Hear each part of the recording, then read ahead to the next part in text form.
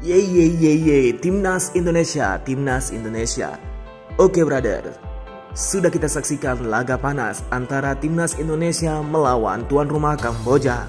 Pada laga terakhir, laga pamungkas yang mempertemukan tuan rumah melawan Timnas Indonesia, Sang Garuda mampu membungkam suara-suara dari pihak tuan rumah. Laga Kamboja melawan Timnas Indonesia berakhir dengan skor 2-1 Kemenangan yang meyakinkan membuat timnas Indonesia berada di posisi pertama grup A dengan koleksi 12 poin. Gol timnas Indonesia dicetak oleh Titan dan juga Beckham Putra.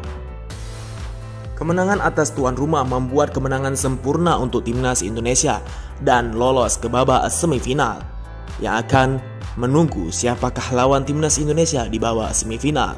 Bagaimana tanggapan kalian brother dengan hasil pertandingan tadi dan juga jalannya pertandingan? Tulis di kolom komentar.